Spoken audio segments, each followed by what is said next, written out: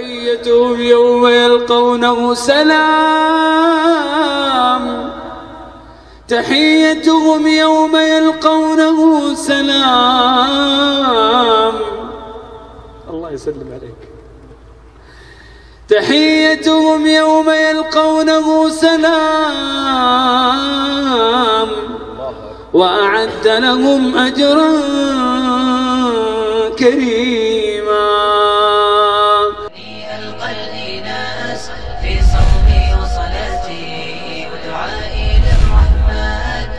وجميع الطاعات. هل لي من الرحمن فيضا من البركات؟ أنجو من النيران ومخاطر الدركات. هو الذي يصلي عليكم وملائكته ليخرجكم من الظلمات إلى النور. وكان بالمؤمنين رحيما. تحيتهم يوم يلقونه سلام.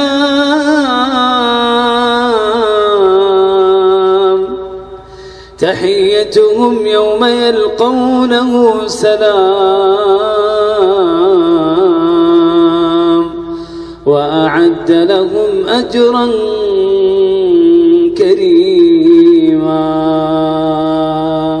إخواني في الله والله لو طبقنا هذه الآية يا أيها الذين آمنوا اذكروا الله ذكرا كثيرا وسبحوه بكرة وأصيلا لنلنا الجوائز من الله هو الذي يصلي عليكم. والصلاة من الله لك الثناء لك عند جبريل.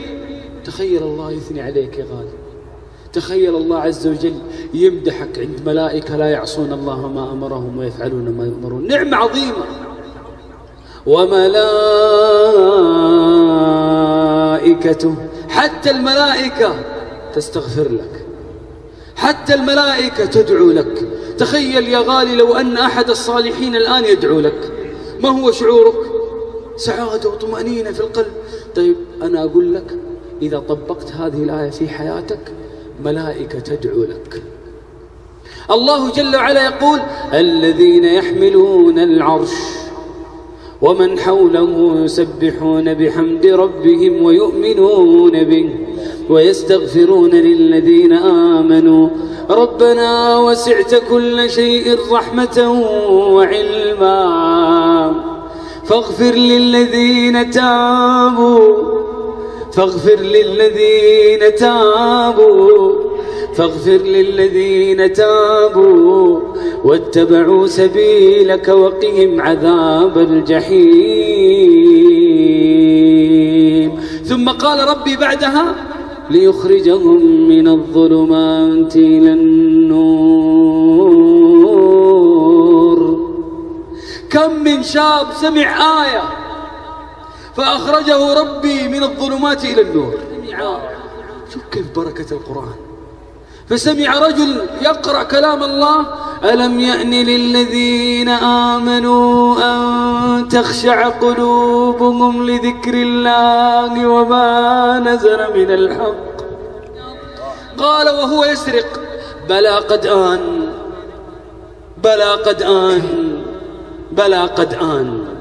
صدق ربي عندما قال ليخرجكم من الظلمات إلى النور.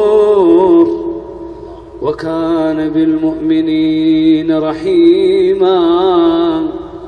انظر إلى بركة القرآن وإلى برك بركة تطبيق هذه الآية في حياتك. وين توصلك؟ وين توصلك؟ الله عز وجل قال بعدها تحيتهم يوم يلقونه سلام. تحيتهم يوم يلقونه سلام. يسلم عليك. تحيتهم يوم يلقونه سلام. وأعد لهم أجرا كريما. صدق الله عندما قال والله يدعو إلى دار السلام.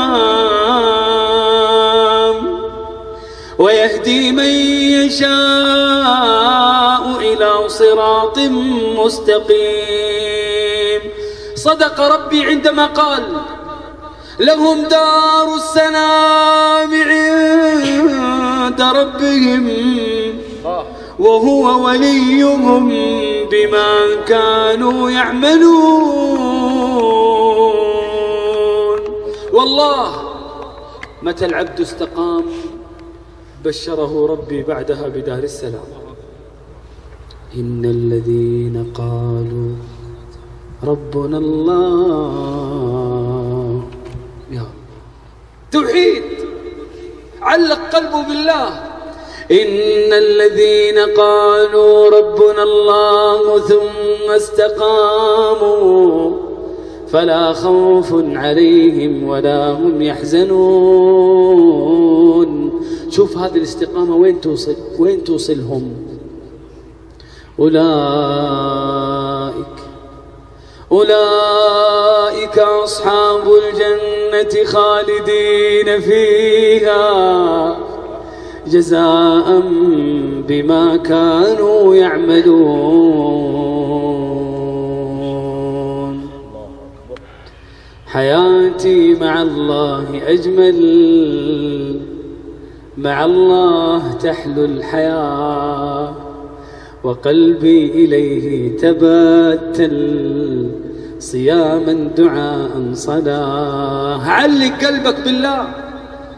يقول أحد السلف المسارعة إلى الله بالقلوب أعظم من المسارعة إلى الله بالأبدان. فعشان كذا إلا من أتى الله